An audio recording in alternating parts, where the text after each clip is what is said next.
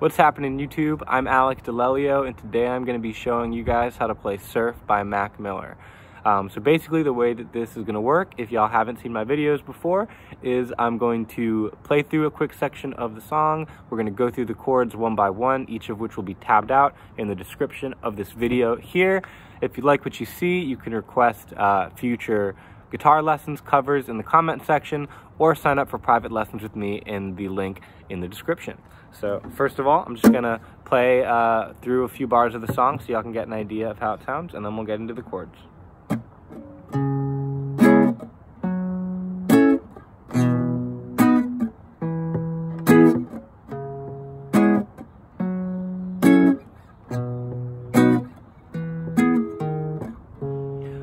Where are you going?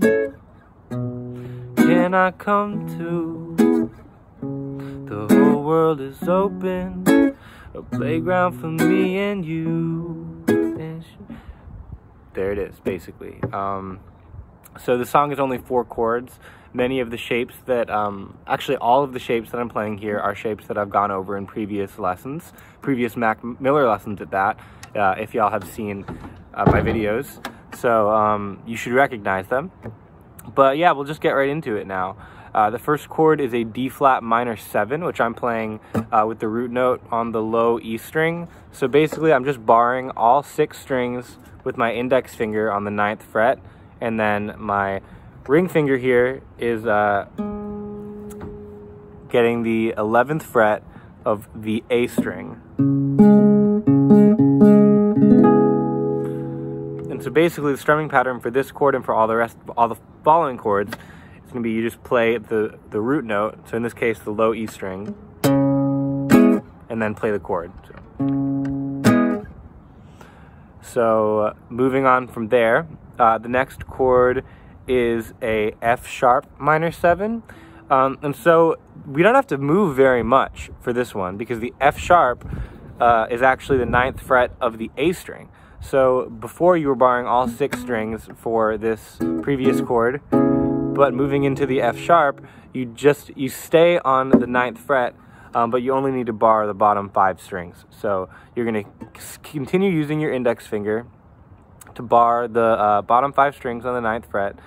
Uh, you're going to use your ring finger. Your ring finger is basically just gonna um, move down a string. So before you had it on the 11th fret of the A string, now you're gonna have it on the 11th fret of the D string. And this is still barred. And the uh, then all you need is your middle finger to come fall down in between them here on the 10th fret of the B string. So those two chords together, um, very, very intuitive to play together once you practice the shapes a bit. Uh, and that's essentially half the song right there.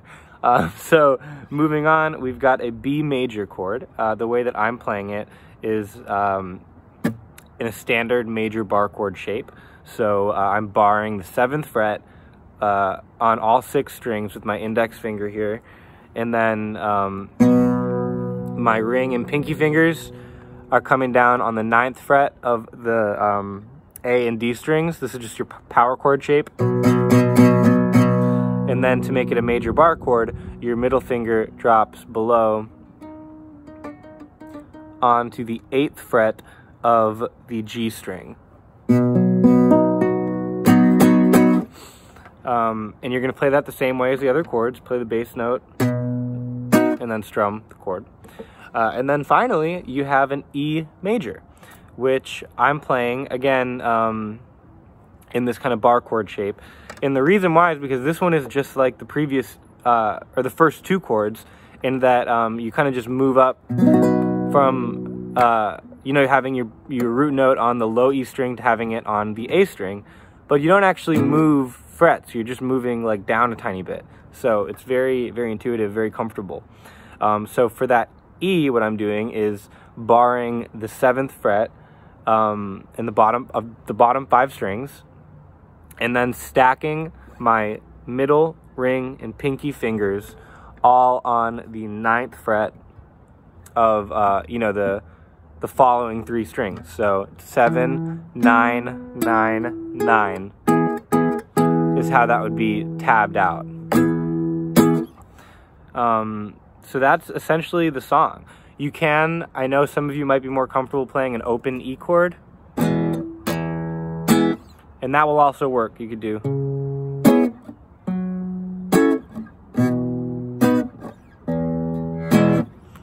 That also uh, sounds pretty good, in my opinion.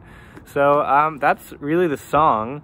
Uh, one more thing i I guess I could show y'all is if you want to improvise over the song, if you want to play some lead guitar, I believe you would use... Yeah, you would use the, uh, what is this? C sharp or D flat uh, pentatonic scale, which is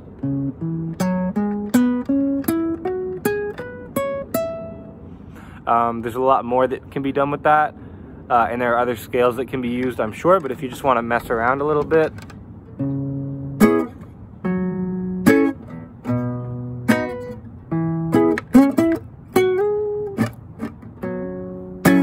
that's where a lot of the the riffing uh, can be can be done is in that scale. So.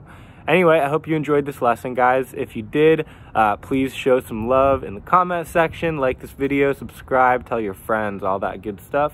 Uh, and as I mentioned, I am available for private uh, online guitar lessons. So feel free to sign up at the link in my description. Thanks, y'all, and hope you have a great day.